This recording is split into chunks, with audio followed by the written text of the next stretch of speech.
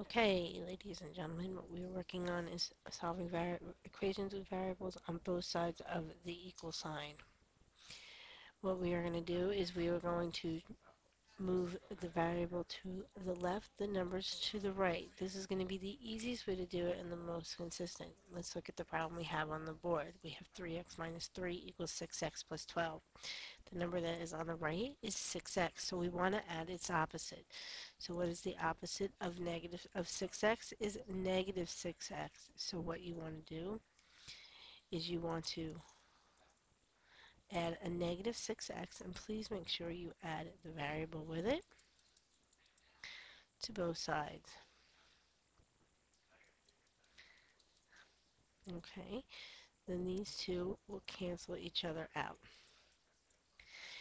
So then you bring what's 6, 3 plus negative 6, you get negative 3x. Please make sure you bring down your negative 3. Also bring down your equal sign, and then your 12, because we did not touch those. Now we have a two-step equation. Remember when you solve a two-step equation, you always do the variable last. So if we do the variable last, the number that we have next is negative 3. To get rid of the negative 3, we add a positive 3 to both sides.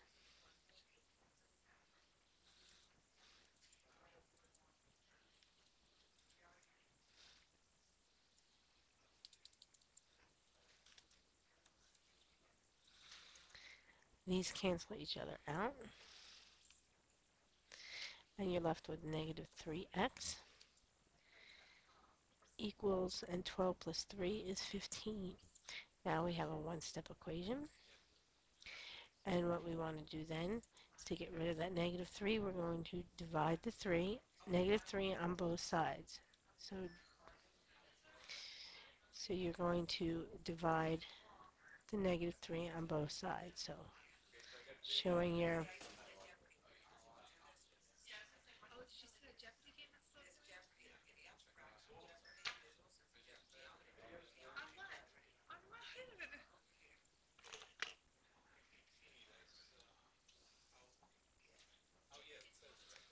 Okay, so you're going to divide both sides by negative 3. Do not, do not uh, divide by the, the 3x. The 3, the 3's cancel left out. You're left with x equals, oh, I'm sorry, that should be negative 3. x will equal negative 5.